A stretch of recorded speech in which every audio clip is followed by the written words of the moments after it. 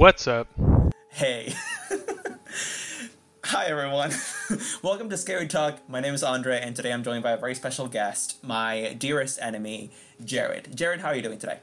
Um, pretty good, Andre. I don't know about that uh that intro, but I guess we'll just go from there. I, I, I think we should. You know, my dearest friend, it's just it's just too close for comfort. So I think I'm gonna keep a little bit of distance for now until we become better acquainted. But for now, you know, you're still my best something. So it's Fair something. enough. As long as I hold an important spot in your life. No. Hi everyone. Uh Scary Talk episode 60 whatever honestly. It depends on what order I want to release this in. But um uh, Jared, please do introduce yourself. Who are you? How do we know each other? Uh and why are you here? All right. Um, hi everyone. My name's Jared. I'm uh, friends with Andre. I went to high school with him, and he is very good friends with my girlfriend. And I have had some uh, exposure to Andre through those means. Um, kind of unwilling on my part, but um, it's kind of kind of how it goes sometimes, you know. and here we are now recording a podcast episode together. So isn't that nice? Um, uh, I dragged Jared um, into this episode just because I've been wanting to have a couple guests lately, and um, I figured, you know, Jared's kind of what's left, bottom of the barrel, so why not do it? And also, he's available. So here we are. Definitely And, uh, available. Uh, and today we're reading some uh, creepypasta for you. That's what we're doing. Um, insert spooky sound here. We are reading some creepy pasta for you today. Um, uh, in all seriousness, Jared, thank you for being here today. I really do appreciate your presence. Um, so let's get this Yeah, sure, started. sure thing, man. Just wanted to uh, take a break between 90 Day Fiance, you know, do do a little creepy pasta.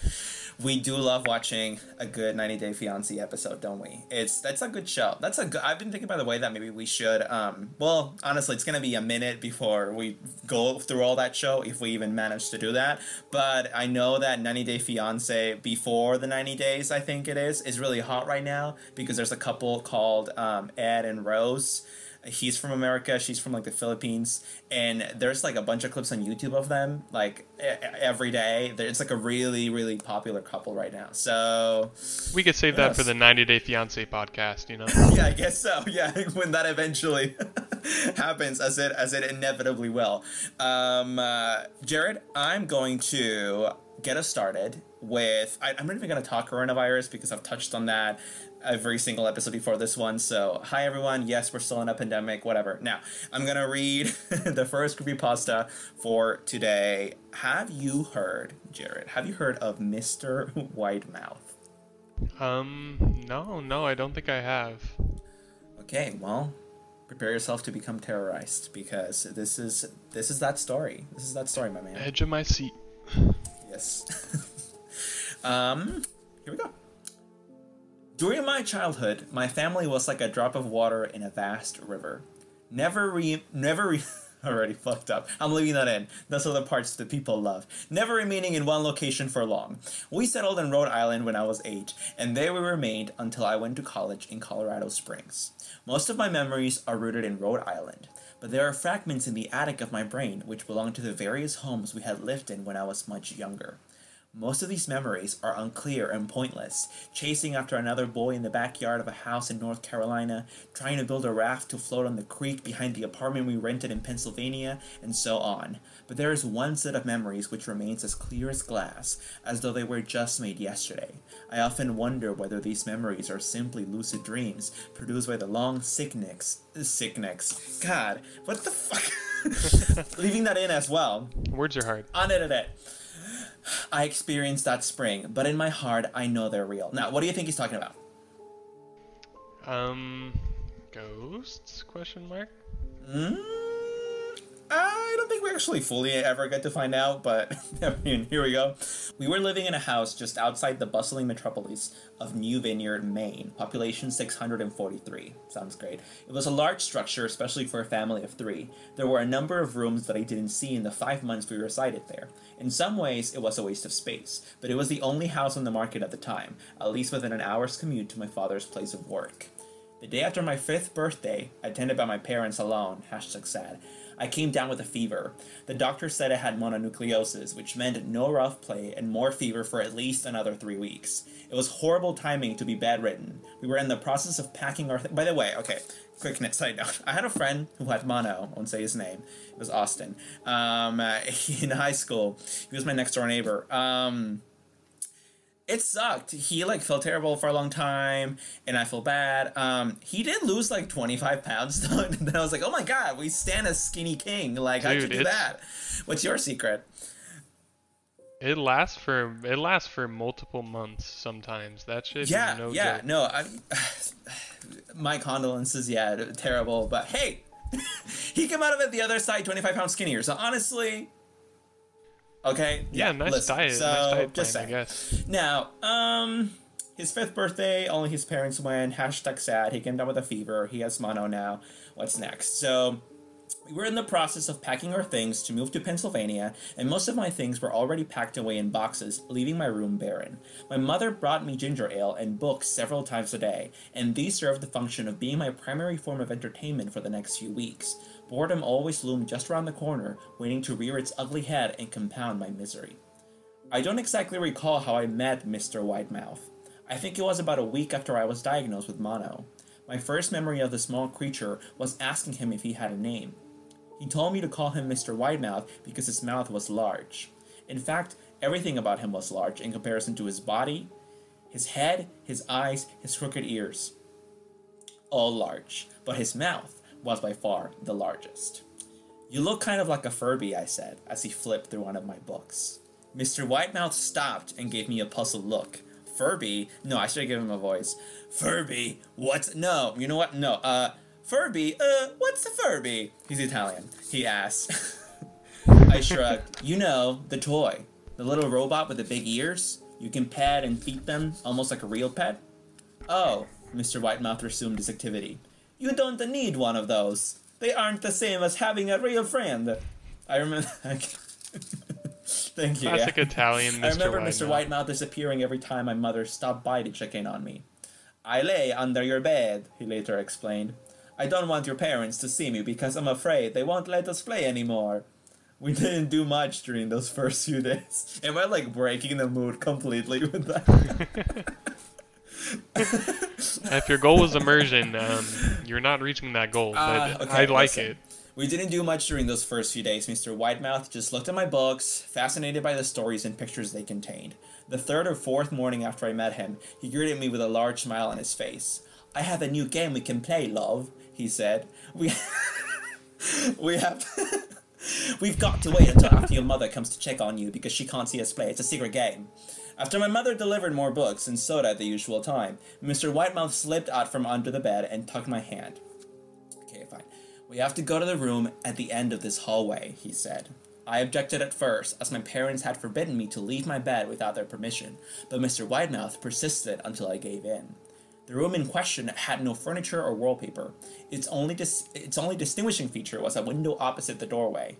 Mr. Widemouth darted across the room and gave the window a firm push, flinging it open. He then beckoned me to look out at the ground below. We were on the second story of the house, but it was on a hill, and from this angle the drop was farther than two stories due to the incline. I like to play pretend up here, Mr. Widemouth explained. I pretend that there's a big, soft trample. Wait, can I do it? I don't know if I can do a Christopher Walken impression, but I'm gonna try. Mr. Widemouth explained. I uh, pretend that there's a. No, I can't do it. It's okay. That's alright, I'll live. if you pretend hard enough, you bounce back up like a feather. I want you to try. I was a five year old with a fever, so only a hint of skepticism darted through my thoughts as I looked down and considered the possibility. It's a long drop, I said. But that's all part of the fun. It wouldn't be fun if it was only a short drop. If it were that way, you may as well just bounce on a real trampoline. I toyed with the idea, picturing myself falling through thin air only to bounce back to the window on something unseen by human eyes. But the realist in me prevailed. Maybe some other time, I said.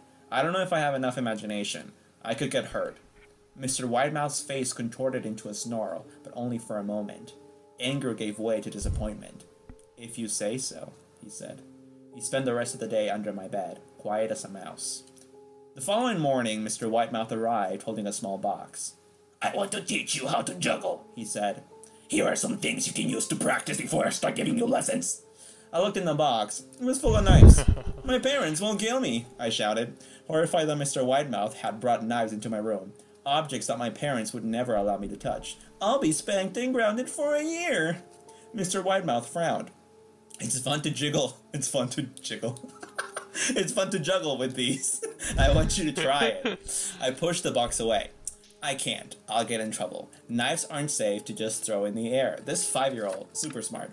Mr. Widemouth's frown deepened into a scowl. He took the box of knives and slid under my bed, remaining there for the rest of the day.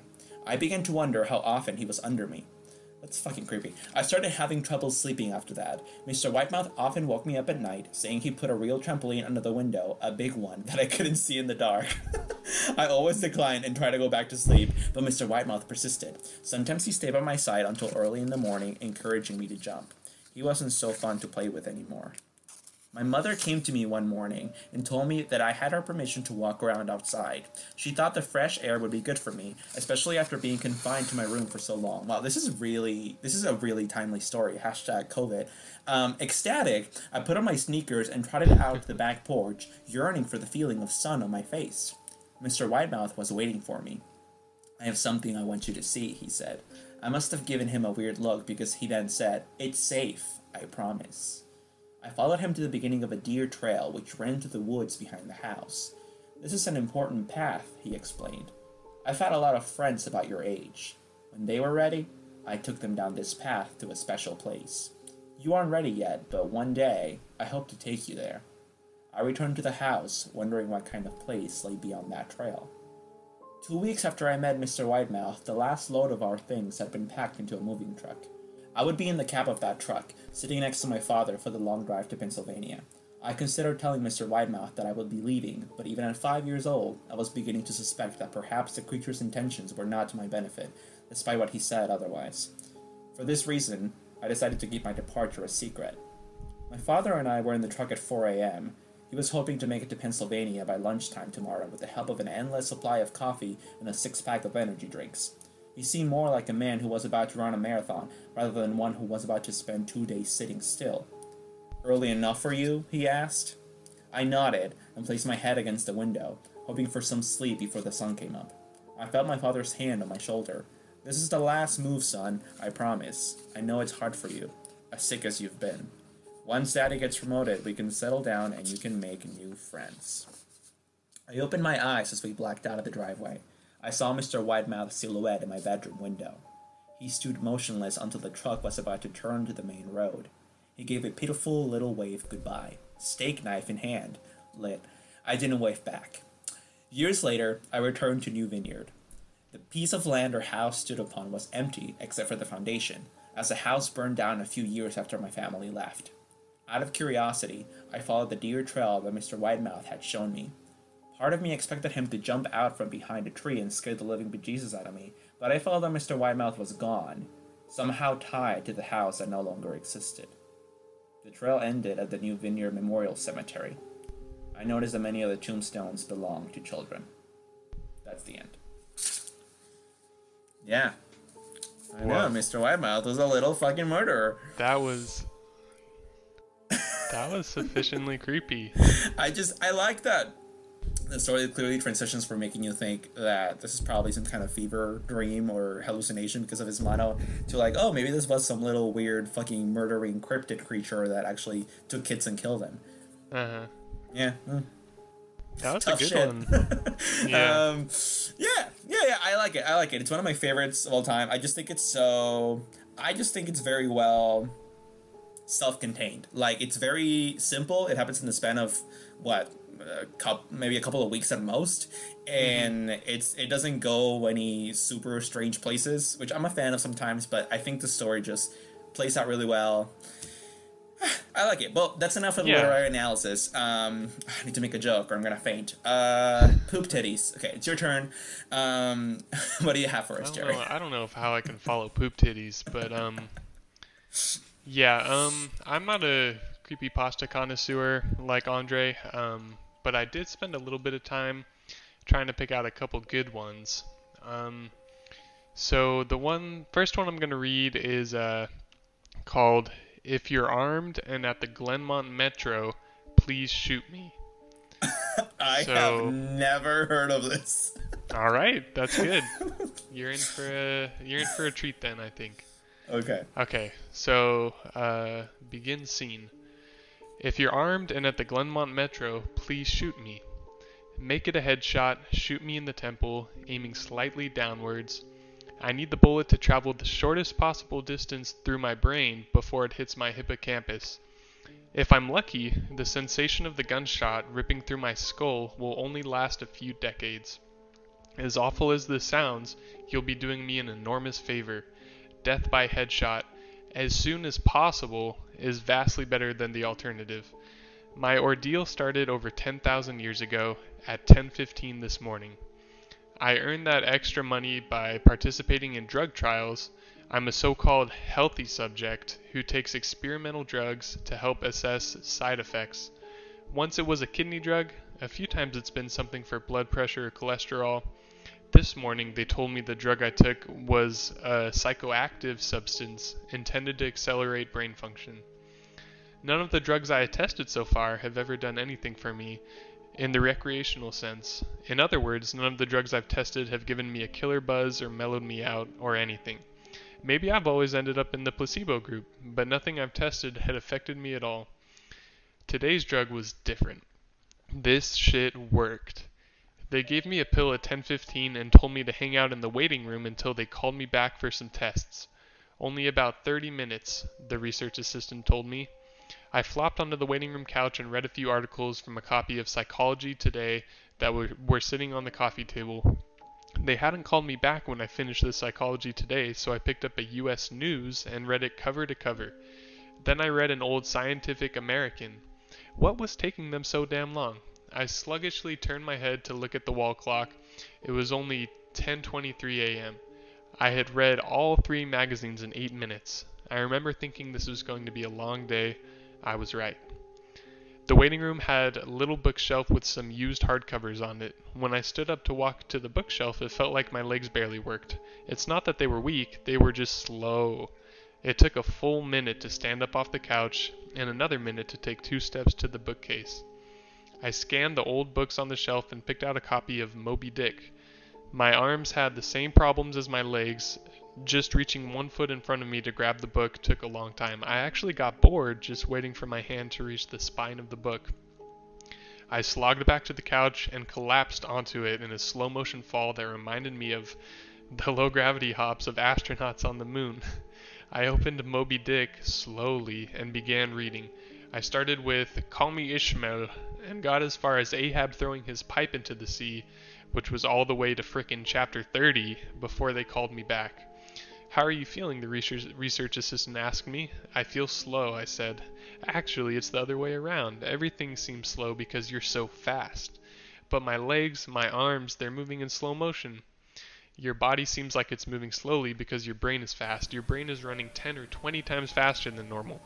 You are thinking and perceiving reality at an accelerated pace, but your body is still constrained by the laws of biomechanics. Frankly, you're moving much faster than a normal person.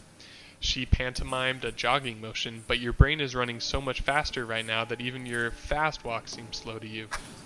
I thought about my slow motion flop onto the waiting room couch. Even if my muscles had slowed down, my body would still react to gravity the same way, but in the waiting room I f- even fell in slow motion.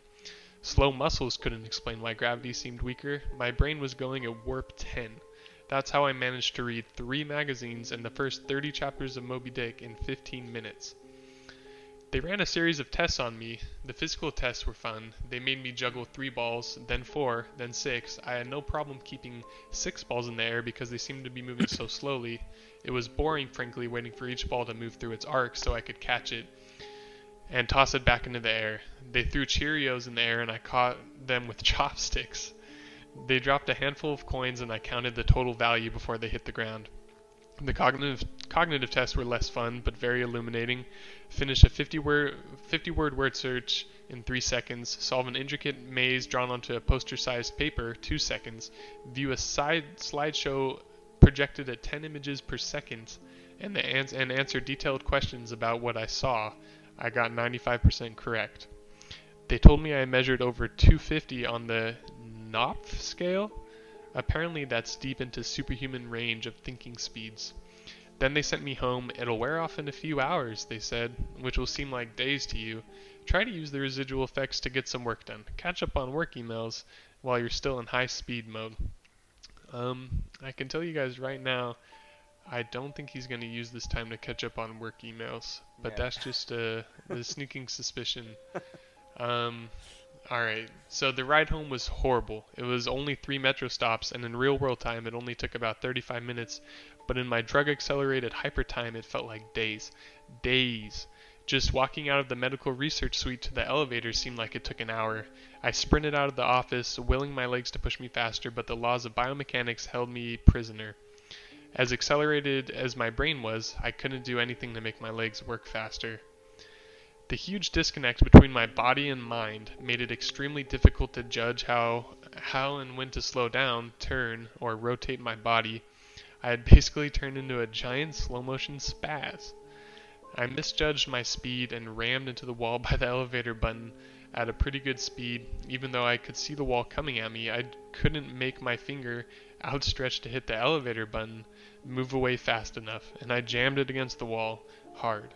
The pain was intense. If my brain had been running at regular speed, it probably only would have hurt for 30 seconds or so. But in my accelerated state, the intense pain seemed to last for half an hour, 45 minutes maybe. The elevator ride was horrible. It felt like I spent four or five hours just descending seven floors with nothing to look at but the interior of the elevator car. I sprinted to the metro station. I have to admit, this part was almost fun. Even though my body moved at what seemed to me super slow speed, I could still carefully choose how and where to place my feet, swing my arms, and turn my torso. It only took a block or two to getting used to having a brain that ran two dozen times faster than my body. Then I basically sprint danced the rest of the way, twisting and juking between people on the sidewalk and dodge dodging moving cars within inches, aka minutes, of clearance. So what do you think, Andre? Is this more of a superpower or a or a curse? Uh, far. this is definitely a curse. I'm just I can I can tell this is not gonna turn out right. So All right. Well, let's see. I spent an hour in my time frame descending into the subway and running to the platform. Endless tedium waiting for the six minutes for the red line train to arrive. Although there was more to look at on the metro platform than inside the elevator, it was still intensely boring. I should have stolen that copy of Moby Dick. The red line train roared into the station in slow motion. The normally high pitched squeal of its brakes was frequency shifted by my high speed mind to a long, low tone, hmm. like a monotone tuba solo. It wasn't just the squealing subway train that was three octaves lower than normal, all sound was slowed to the point of near inaudibility. Voices were gone, shifted below the threshold frequency of my hearing. I did manage to hear a screaming baby on my subway car, her shrieks slowed to sound like whale songs. Sharp sounds like uh, car horns and trucks bouncing over potholes were low, muddied roars like distant thunder. Back at the research offices, I could still hear and communicate with the research staff, but now verbal communication with anyone would be impossible. The effects of the drug were still intensifying. I spent what seemed like days on that fucking red line train. Days, listening to the whale song of the screaming baby and the tuba solo of the brakes, where ordinary voices were frequency shifted out of my audio range. Smells smells didn't seem to be affected. I never became nose blind to the body odor, the stench of the train's brakes, the melange of farts and other smells wafting through the metro car. I finally got back to my apartment, sprinting through my open door and into the front hall at full speed was like a slow, relaxing drift down a lazy river. I was relieved to be home, at least I had stuff I could do there. I picked up the book I was reading, 100 Years of Solitude, and finished it, despite turning the pages so quickly that I tore many of them. It seemed like most of the time I spent finishing the book was spent on page turning and not actually reading. Three minutes had passed since I got home. I tried surfing the internet, uh, but it was too frustratingly slow. Hours to load each new page and a fraction of a second to read it. A hundred articles in my news feed read and just three more minutes done. Man, this is uh, I, this is pretty uh, shitty. yeah, yeah, this sounds terrible. I dipped into my pile of yet to be read books and finished two more. Four more minutes had passed. I decided to try to sleep off the remaining effects of the drug. Unfortunately, whatever part of my mind is responsible for perception, the part that's been accelerated to hyperspeeds by the drug, isn't the same as the part that governs sleep. Despite being awake for what I perceived as days, my physical brain still thought it was 1:25 p.m. It was not ready for sleep. Nevertheless, I tried to sleep. I walked to my bedroom, a slow 45 minute drift through my apartment, and flung myself into bed. I closed my eyes and lay there for hours and hours, which was 10 minutes of reality time, before giving up. Sleep would not come. I was facing what was going to feel like days, or maybe even weeks of being trapped in slow motion prison, so I took an Ambien. The sensation of the pill and the splash of water I used to swallow it sliding my throat was sickening. A lump that blocked my breathing, moving like a slug down my esophagus. I read a book. Ten minutes had passed. I read another. Eighteen minutes since I took the Ambien. I threw the book across the room in disgust at my situation. The book slowly pirouetted and spun through the air like a leaf blowing in a breeze. It hit the wall with a long faint rumble, the only sound I had heard for what seemed like hours, then drifted to the floor like a flip-flop sinking in a swimming pool. The force of gravity hadn't changed since I took the pill. The laws of physics were the same. It was just my perception of time that had gone wackadoo. This meant I could use the speed things seemed to fall as a way of judging the effects of the drug. Based on how long it took the book to drift to the floor, I estimated the effects of the drug were still intensifying. I read a magazine, I turned on the TV, I clearly saw each frame of video like I was watching a slideshow. Jesus. Frustrated, I turned the television off. I read some more, the first two books of Churchill's A History of the English, not exactly a light read. Frankly, I hated it, but given the hours of tedium it would take to go get another book off my bookshelf, just sitting on the couch and reading Churchill was better, or at least less worse. It had now been 35 minutes since I took the Ambien. I lay down on the couch and closed my eyes. Time passed, I inhaled, an hours long process. Time passed, I exhaled for more hours. Jeez. Sleep would not come. I needed a new plan. I decided to go back to the offices where they gave me the drug. Maybe they would have something that could counteract its effects, or at least something to knock me out until it wore off. I exited my apartment as fast as possible, taking hours in my time frame to do so. I didn't even bother locking the door. It would have taken too long. Down the stairs, it's faster than the elevator if you run. Through the lobby, out the front door, and onto the street. These few things felt like a long day at the office. Sprinting down the street, dancing and weaving between pedestrians with what, what must have looked to them superhuman dexterity. Down the first flight of stairs at the metro, across the landing, another hour. Then on to the second flight of stairs. That's when the Ambien hit me. Now, the Ambien didn't make me sleepy. Not at all. Instead, it must have had a severe cross reaction with the experimental drug I took this morning.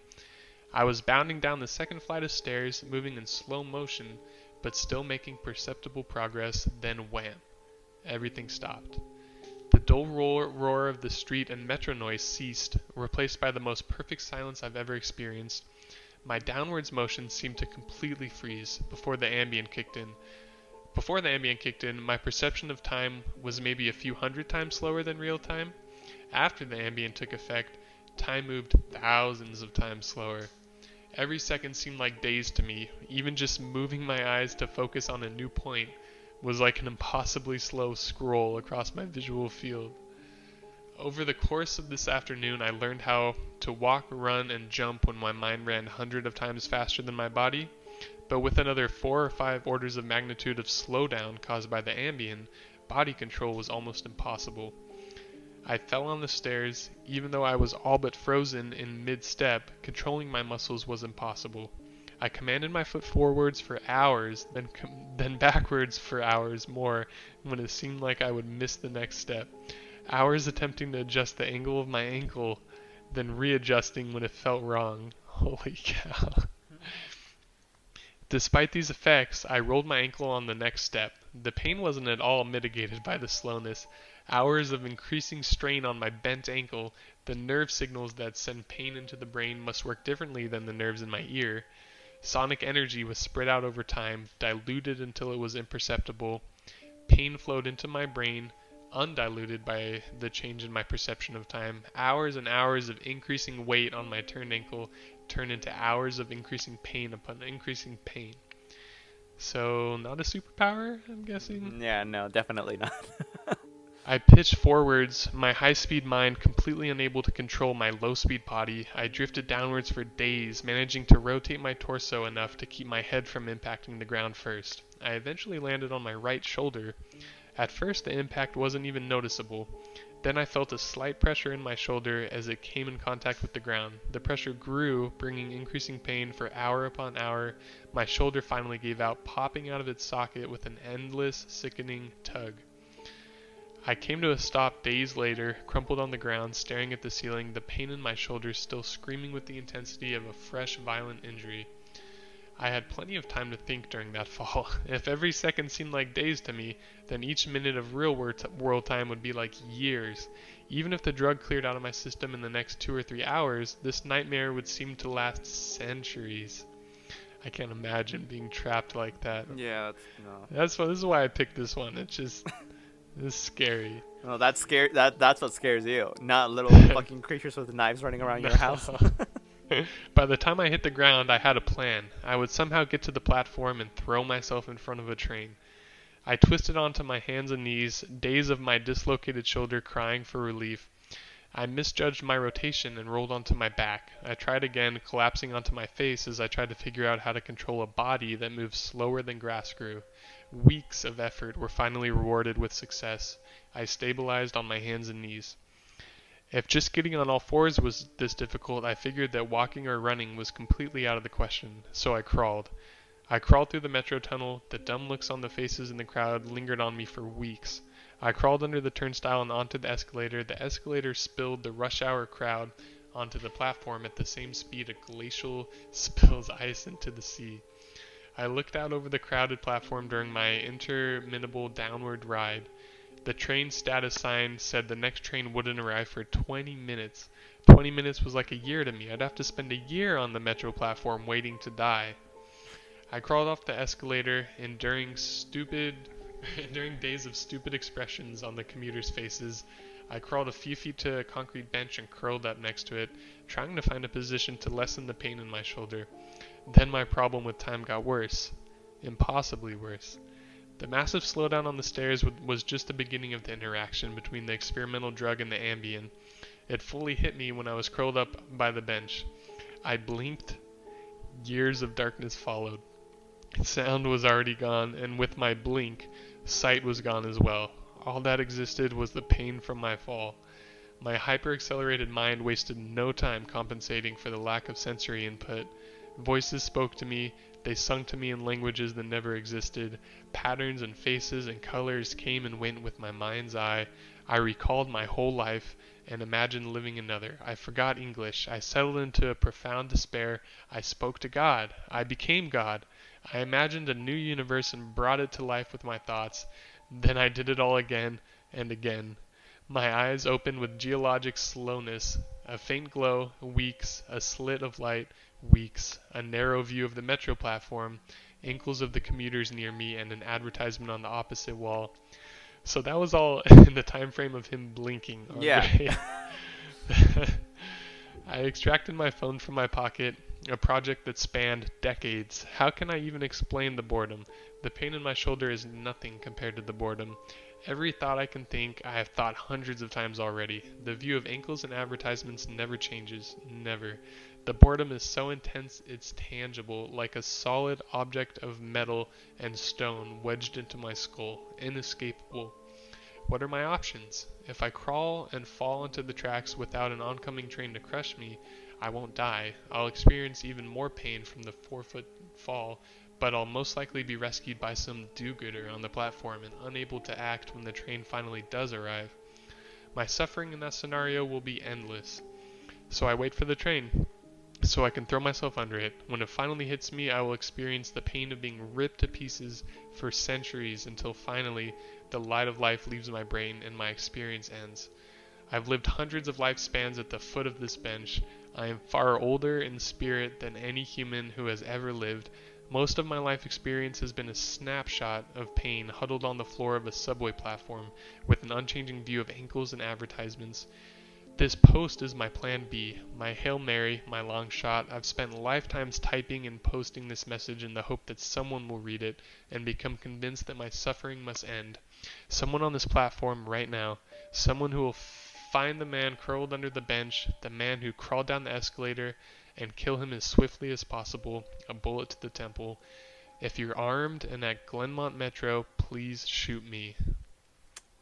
Wow. That one was a kind of kind of long, but it uh it kind of it scared me when I read it. It was it, it it scared me. It reminded me of uh have you seen Black Mirror like all yes. the episodes? Yes. Do you you know the one I'm talking about where she's like trapped in the home like the smart home device and they like shut her off for like yeah, and the little like monkey. Yeah. y- yeah, dude, that- that's Wow. That's what spooks Jared, huh? Yeah. Anyways, that that one really hit me. Um, Interesting. Yeah, I guess that is pretty terrifying, isn't it? uh Huh. Well, I mean, hopefully that drug doesn't exist. yeah. If it does, I'll make sure to never slip it into your pocket. um, damn, damn. what That do you got next crazy. for us, Andre? Um, let's see. I I have two short ones. two short ones that I want to share with you. The first one is uh, one of my all-time favorites for sure, and it's Candle Cove. Have you ever heard of Candle Cove? No, I haven't. Okay, so Candle Cove was actually a creepypasta that was written uh, in a blog post format, kind of like uh, kind of like a Reddit style format. Like there's a bunch of people, there's a thread, there's someone posting something, and then there's a bunch of people responding to it. So I'm gonna try my best to read this um, the best way that I can. Uh, but yeah, so just just try to keep track. So this is on the fictional Net Nostalgia forum under the category television local. And user skyshell033 posts candle cove local kids show. Does anyone remember this kids show? It was called candle cove and it must have been six or seven. I never found reference to it anywhere so i think it was on a local station around 1971 or 1972 i lived in ironton at the time I don't remember which station, but I do remember it was on a weird on at a weird time, like 4 p.m. Mike Painter 65 says, It seems really familiar to me. I grew up outside of Ashland and was 9 years old in 72. Candle Cove, was it about pirates? I remember a pirate marionette at the mouth of a cave talking to a little girl. Skyshell says, Yes, okay, I'm not crazy. I remember Pirate Percy. I was always kind of scared of him. He looked like he was built from parts of other dolls, like real low budget. His head was an old porcelain baby doll, looked like an antique that didn't belong on the body. I don't remember what station this was. I don't think it was local station though that we're thinking of. To which Jerome 2005 says, Sorry to resurrect this old thread, but I know exactly what you mean, Skyshell. I think Candle Cove ran for only a couple months in 1971, not 72. I was 12 and I watched it a few times with my brother. It was Channel 58, whatever station that was. My mom would let me switch it to um, switch to it after the news. It took place in Candle Cove, I think, and it was about a little girl who imagined herself to be friends with pirates, right? The pirate ship was called the Laughing Stock, and Pirate Percy wasn't a very good pirate because he got scared too easily. And there was a Calliope music constantly playing. I don't remember the girl's name, Janice or Jade or something. I think it was Janice. To which Skyshell says, Thank you, Jaren. Memories flooded back when you mentioned the Laughing Stock in Channel 58. I remember the bow of the ship was a wooden smiling face with the lower jaw submerged. It looked like it was swallowing the sea, and it had that awful Edwin voice and laugh. I especially remember how jarring it was when they switched from the wooden slash plastic model to the foam puppet version of the head that talked. Mike Painter 65 says, Haha, I remember now too. Do you remember this part, Skyshell? You have to go inside. Skyshell says, Ugh, Mike, I got a chill reading that. Yes, I remember. That's what the ship always told Percy when there was a spooky place he had to go in, like a cave or like a dark room where the treasure was, and the camera would push in on Laughingstock's face with each pause. You have to go inside. With his two eyes askew and that flopping foam jaw and the fishing line that opened and closed it. Ugh, it just looked so cheap and awful. You guys remember the villain? He had a face that was just on like a handlebar mustache above really tall, narrow teeth. Kevin Hart says, "Oh, Kevin Hart." I honestly, honestly thought the villain was Pirate Percy. I was about five when this show was on, Nightmare Fuel. Jaren 2005 says, That wasn't the villain, the puppet with the mustache. That was the villain's sidekick, Horace Horrible. He had a monocle too, but it was on top of the mustache. I used to think that meant he had only one eye. But yeah, the villain was another marionette, the Skin Taker. I can't believe what they let us watch back Oh then. my god. Kevin Hart says, Jesus H. Christ, the Skin Taker. What kind of a kid show are we watching? I seriously could not look at the screen when the Skin Taker showed up. He just descended out of nowhere on his strings, just a dirty skeleton wearing that brown top hat and cape, and his glass eyes that were too big for his skull. Christ almighty. Skyshell says, Wasn't his top hat and cloak all sewn up crazily? Was that supposed to be children's skin? Mike Painter 65 says, Yeah, I think so. Remember his mouth didn't open and close? His jaw just slid back and forth. I remember the little girl said, Why does your mouth move like that? And the skin taker didn't look at the girl, but at the camera and said, To grind your skin. Skyshell says, I'm so relieved that other people remember this terrible show. I used to have this awful memory, a bad dream I had, where the opening jingle ended, the show faded in from black, and all the characters were there, but the camera was just cutting to each of their faces, and they were just screaming. And the puppets and marionettes were flailing spastically and just all screaming. Screaming. The girl was just moaning and crying like she had been through hours of this. I woke up many times from that nightmare. I used to wet the bed when I had it. Kevin says, I don't think that was a dream. I remember that. I remember that was an episode. Mm, Skyshell says, that's not possible. There was no plot or anything. I mean, literally just standing in place, crying and screaming for the whole show.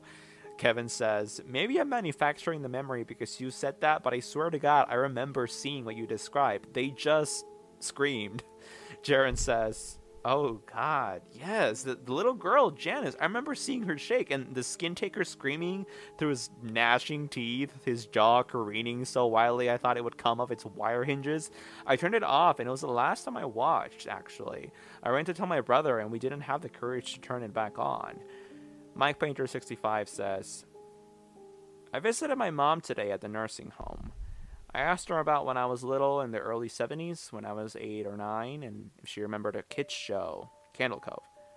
She said she was surprised I could remember that, and I asked why, and she said, Because I used to think it was so strange that you said, I'm gonna go watch Candle Cove now, Mom, and then you would turn the TV to static and just watch dead air for 30 minutes. You had a Oh big my- imagination with your little pirate show. Oh my god. I like that. I like that you didn't really know until the last the last response. Isn't that fucking creepy? Every time I read that, and I've read this so many times, it makes my hair stand up. I just hate it. I hate it. I detest the story.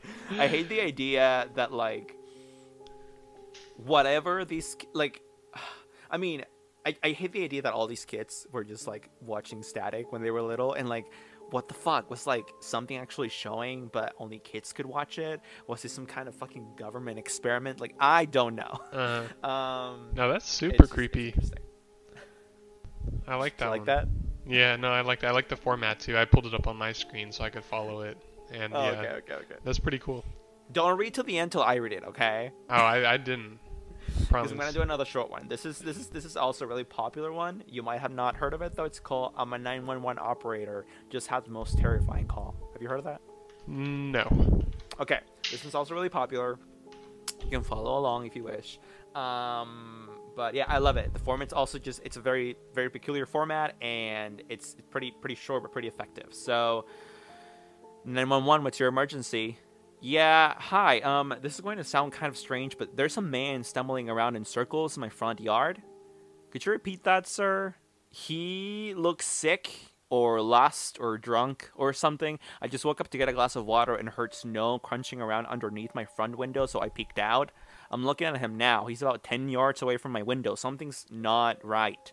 What's your address, sir? 1617 Quarry Lane in Pinella Pass?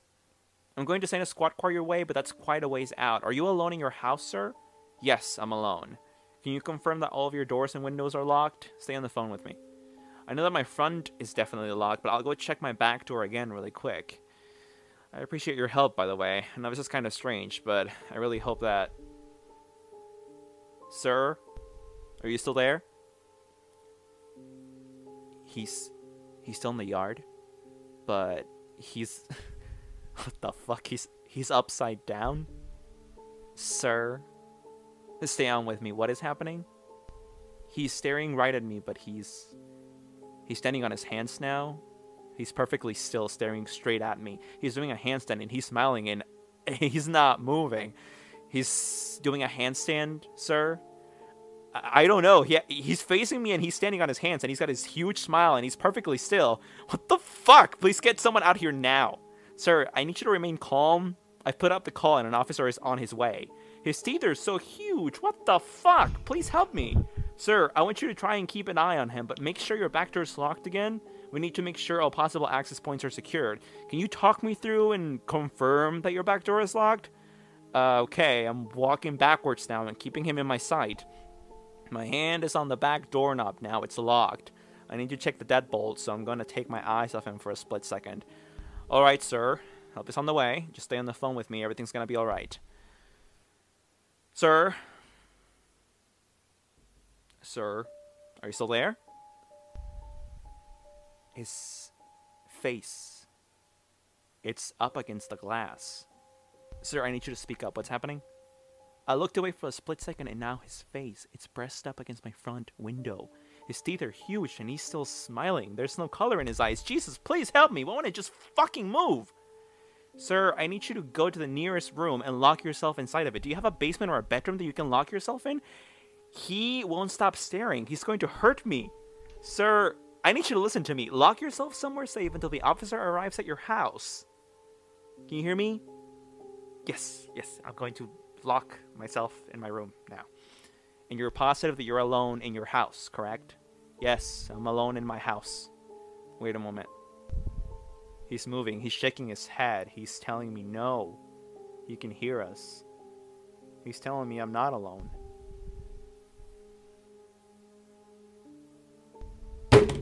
Sir! Sir, are you still there? I heard a loud noise. Is everything alright? Sir? And scene. Bravo, Andre. If uh, your first story wasn't very immersive, this was the opposite. Some good reading.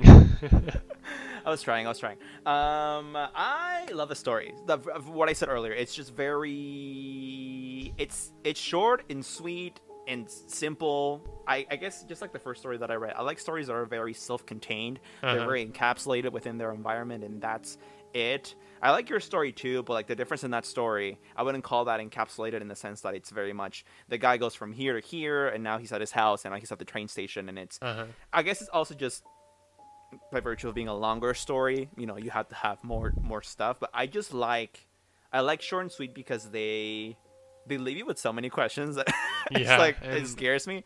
And I, I like I like that. the I like the medium of it too with the 911 call. Yeah, I, I like peculiar mediums too, like the blog posts, like the 911 calls. One of my favorite ones is this one. There was this one is really long though, so I didn't want to read it. Um, I think it, was turned into a novel actually. Uh, oh my god, I can't remember the name, but it's about it's about this. Oh my god, I can't remember the name. It's about this boy. He has a diary, and he writes in it for years about how he's being stalked by this guy. He's like a teen, and he's being stalked by this like this forty year old man, and it's chapters and chapters and chapters. And um, uh, it was like posted on No Sleep at first. I sorry, I gotta remember the name. Um, but it was so successful that the author eventually like self published it into an actual pa- paperback. Um, Uh, so cool stuff. I'll, I'll send it to you if I find it. You might like it. It's it's really it's terrifying and it's really grounded in reality. So that only makes it more heart wrenching. yeah, send it my way. Alrighty. So what you got for us now? What's the name of your story? Uh, my father punished me when I talked to ghosts. You go. I've been blind since birth. As I grew up, everything was described to me in such vivid detail that I didn't even realize why it was that important to see, especially having no reference point to compare it. We lived in a single floor ranch house, that's what father told me. In my mind, of course, I could see, although unlike how a sighted person could, I had spatial awareness. I knew where my bedroom was, where the bathroom, living room, and kitchen were. Each wall had its own texture. I don't know if that was done on purpose or if I could feel things others never noticed. I rarely fell over, only if father, or one of the visitors, put something somewhere they shouldn't have. It was usually the visitors, and father would shout. They visited infrequently, and only briefly when they did. Father said I shouldn't speak to them, that it unsettled him. He'd worry when I saw something he didn't, saw it with my ears or by touch. Ellie was the first. She seemed very sweet. She asked me my name and why my face was so messed up. She was in the living room. I could hear where she sat from her breaths, harsh nasal sounds as if her nose was blocked. When father had a cold, he'd always breathe through his mouth big labored breaths as he wasn't used to it. When people mentioned my face, I always touched it, trying to work out why it was so strange to them. When I asked if I could touch theirs, there was always a pause. I guess sighted people never did that. Why would they need to? When I asked Ellie if I could touch her face, she reluctantly agreed, but moments later, father entered the room and asked me who I was speaking to. I told him, nobody. He would always punish me when I spoke about them. I think it scared him. He'd take my arm and march me off. I'd be knocked off balance and disoriented to the point where my, he finally set me down. My hands would frantically search my surroundings until I knew where I was. It was usually my bedroom, though every now and then he'd leave me outside, in the middle of nowhere. That was the worst. I would be lost and scared. He told me about the road that ran in front of the house, and explained that the sounds I heard were cars, that they'd kill me if they touched me. Those sounds were my only means of recognizing my surroundings. I waited until I heard one, and then knew which way to run back to the house. I heard Ellie that evening. She whispered to me, saying she was scared. I whispered back, but she didn't hear. I asked father about Ellie. He didn't want to talk about her. I asked why. He didn't reply. When I told him that she asked about my face, he asked me how I responded. I told him I wanted to touch hers. He laughed, though I knew he wasn't happy. I could hear the difference. When you laugh for pleasure, your mouth is wide open. When you pretend, your mouth is almost closed. To me, the difference is obvious. It wasn't until I was older that he explained. He said we lived in a special place connected to the other world that sometimes dead people slipped through, people who died in pain and wanted to reach the living. He explained that because I couldn't see, I was able to tune into that, that they knew I was listening when others weren't. He said I had to ignore it, otherwise, he told me, they'd latch on and never leave me. All the dead want to do is to be alive again, he said. It was dangerous, and they would trick me. He said he knew how to deal with them, but he couldn't help if they became attached to me. Alex appeared to me a few years later. She told me she was lost and didn't know where she was. I told her I wasn't allowed to speak to her. Still, she pleaded for help. I kept quiet, knowing what would happen if I said anything. Did you speak to them? Father asked. Though I was upset, I told him no. I wished I could help her. I knew what it was like to be lost, and it scared me. Alex didn't whisper to me at all. I had ignored her, and she ignored me. Father saved me, and I was thankful. After Alex, I knew what I needed to do, so I did it. The spirit stopped bothering me after that for a very long time. That was until Sarah appeared. Sarah didn't give me a chance to be quiet. I was on my own, sitting in the living room and listening to the television. Help, she said. I need to find a way out. I stayed silent. You can hear me, can't you? she asked, surprised. I'm not allowed to speak to you, I told her. Please, she begged. I'm scared. I'm lost. I want to see my daddy. I gripped the arms of the chair and told her I wasn't allowed. He's dead, she said. I didn't answer. Your father is dead, she said again. I wasn't going to fall for it. I heard banging from around the room as things began to fly, and the shelves began to shake. Stop it, I shouted, and it did. Please help me leave, she said. I wasn't going to talk to her. I did the only thing I thought would help. I unlocked the front door, hoping she'd run out and get lost, just like I would do. When I heard from her no more, I locked the door and sat back down. I listened intently for any sign she was still there. Except for the sounds of the TV, it was silent. I hated when my heart raced. I became all too aware of the tick-tock feeling and the rise and fall within my chest like it was about to explode. When I heard my father's voice, I screamed. Son, he said, I need your help. I think I'm dying. I did what he told me to do. I didn't speak. If he did die, he'd never leave me. Instead, I raced out into the open air and shouted for help. I shouted until my voice was hoarse. I heard the sounds of cars racing along the road in front of my house. I shouted until I heard someone respond. It was a woman. What's wrong? they asked. I told them I think my father was dying. They asked what happened to my face. I pleaded with them to help me, and they promised they would. I sat down on the grass and waited. Some time later, the woman returned to me and asked if she could hold my hand. I'm so sorry, she told me. I heard the sounds of sirens and of people rushing. I asked what was going on. The woman said she was there for me. As the noise died down, a man asked me a question. I'm a paramedic, he said. What happened to your face? I told him I was fine. He asked if I was sure, and I told him I was. He asked if I minded him touching my face. I said it was okay. A moment later, I felt a pressure release from around my forehead, and the air felt cold against my skin. It sounded as if he were peeling an orange. I imagined that in my head and worried he'd expose my insides. I screamed and asked him what he was doing. He told me everything was going to be okay, and the woman squeezed my hand, telling me to be brave. I didn't know what I was experiencing. I felt a tight pain within my head, like when you smash your shin against something hard, followed by something I'd come to understand as bright. It hurt so much I began to cry. What happened to your eyes? the paramedic asked. I said I was blind. He asked to check them. The pain returned when he examined them. Do you know him? The man asked the woman who had helped me. She told him that I had been screaming for help and that she had come to my aid, but that she never met me before. How long have you had your eye injury? he asked me. I told him I'd been blind since birth. He asked me if I could see his fingers. I told him no. He asked if I could open my eyes. I said I didn't know what he meant. He asked if he could open them for me. I didn't respond. Then I felt his fingers on my face fingers covered in something rubbery. Suddenly, it became bright again. I screamed. He tried to calm me. The woman squeezed my hand again. I didn't know what was happening. Things I couldn't describe came to me. It was like it always was, but multiplied 100 fold, and so much more real. I carried on screaming as a fuzzy form came into view. Just breathe, okay? The paramedic said. Everything will be fine. When was the last time you saw?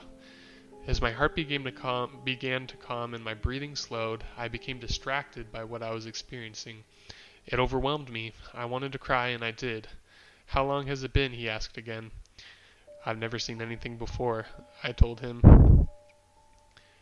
I was told to keep an eye mask on for most of the day, only taking it off at night at first to allow my eyes time to adjust. At the same time, I was placed in the custody of my aunt and uncle and didn't even know it at first. They were shocked at what happened to me and that I had never attended school. The past few years have been a roller coaster ride. The doctor said I may never have perfect vision, though what little I have is a godsend, and I'll take what I can get. I've only recently been learning to read and write, so I apologize if my English isn't the greatest. It's the best I can do. I've been asking my aunt what happened to my father, but all she said, all she says is that he died of a heart attack. I asked what sort of man he was. She says he was her brother and she'll love him no matter what. My uncle doesn't want to talk about him at all. I've been using the computer a lot recently and I'm really enjoying the internet. I can't believe such a thing exists. After being so lonely for so long, I can talk to whoever I want, when I want, though I'm wary of that. After all, how do I know if I'm speaking to, if who I'm speaking to is alive? No one seems to share my father's concerns about that. Today I was on a forum discussing the spirit world. I was so happy to find people who I could relate to and someone curious about my username sent me a link to an article on a true crime website. It was about my father and mentioned me by name. They asked me who I was and if I was the same person. According to the article, my mother had gone missing soon after my birth. It said I'd been bound so that I couldn't see, that my father always wanted a daughter. They found 14 bodies in the basement. They said one got away, a girl by the name of Sarah Frank. She was the one to call the police. They found father's car parked around the back of the house. They supposed he carried his victims into the basement via the storm entrance and left them there. Sarah had managed to get away after she agreed to be his daughter following four days of sustained torture. She stabbed him with a knife he'd placed on the counter to butter some toast. I didn't want to believe it, and I'm not sure I would have if it weren't for the names of the victims, two of which stuck out Ellie Farmer and Alex Riddle. I'd spoken to them both in the living room. To this day, I wonder if my father had been honest with me about a single thing in his life. Throughout it all, one question remains above all others. Did I speak to Ellie and Alex before or after he killed them? And end scene.